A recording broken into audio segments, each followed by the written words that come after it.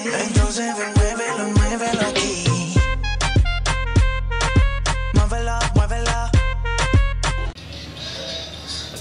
जी, मैं हूँ जान बिलताफ़ और आप देख रहे हैं मेरा यूट्यूब चैनल किसान क्लब।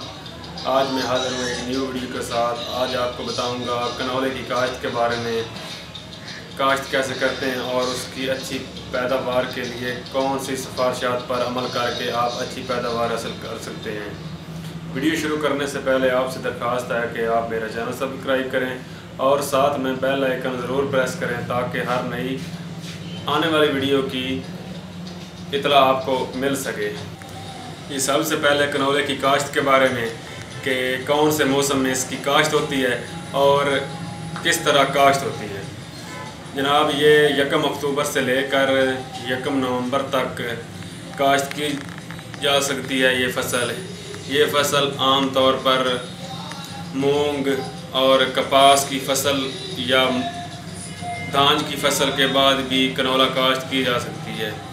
ये जनाब भारी रकबे, जो अच्छे रकबे हैं, उन पर भी काश्त हो सकता है और उन पर ये पैदावार भी बहुत ज़बरदस्त देता है और जो हल्के, यानी कि रेतले रकबे होते हैं, उन पर भी इनकी काश्त की जा सकती है।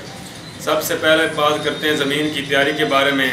ज़मीन अच्छी तरह तैयार कर लें बारीक मट्टी हो टेले वगैरह ना हों, वो बहुत ज़रूरी होता है क्योंकि कनौले का बीज बहुत बारीक होता है, इसलिए ज़मीन की तैयारी भी बहुत बारीक होनी चाहिए।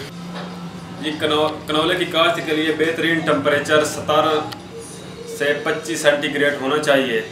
आप दो तरीक़ों से कनौला काश्त कर सकते हैं। एक बजरिया छट्टा और दूसरा बजरिया ड्रिल। बजरिया छट्टा आप जिस तरह दूसरी फ़सलें काश्त करते हैं इस तरह रौनी करके पानी लगा के उसके बाद बीज का छट्टा, बीज का छट्टा दे के और दो दफ़ा हल चला दें। दूसरा तरीका सबसे बेहतर है, इस तरीके से गोडी करना आसान हो जाती है, क्योंकि कनौले में कोई जड़ी बूटियों की प्रॉपर स्प्रे नहीं है। आप बजरिया ड्रिल भी कनौले काश्त कर सकते हैं। ये कतारों का फासला, कतारों के दरमियान जो पौधों का फासला है, वो नौ से छः इंच होना चाहिए। इससे आप बेहतर पैदावार हासिल कर सकते हैं। स्प्रे करने में भी आसानी होगी और जड़ी बूटियों का बजरिया, गोडी, खात्मा भी अच्छी तरह कर सकते हैं।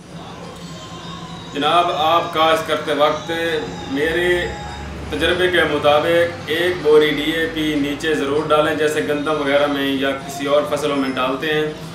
बाद किसान भाई समझते हैं कि ये कुछ ज़्यादा खाद नहीं मांगती फ़सल, लेकिन ज़्यादा खाद ना दें, लेकिन नॉर्मल खाद देना ज़रूरी है अच्छी पैदावार के लिए।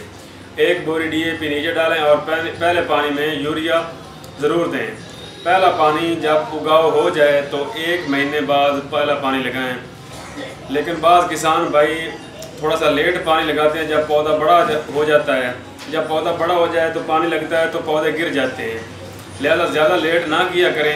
एक माह के अंदर अंदर कनौला को पहला पानी ज़रूर लगाएँ। बात बताना आपको भूल गया हूँ कि फ़ी एकड़ बीज डेढ़ किलो से दो किलोग्राम रखें। और जब ये कनौला फरवरी के महीने में आता है तो इसको बीमारी लगती है तेले और थ्रिप्स की।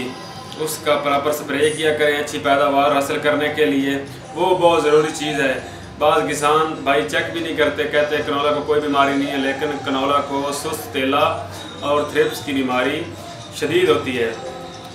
इस बीमारियों के तदारक के लिए आप बाईफेंथ्रीन प्लस थायामथाक्सम या अकेला बाईफेंथ्रीन का इस्तेमाल करके अच्छी पैदावार हासिल कर सकते हैं।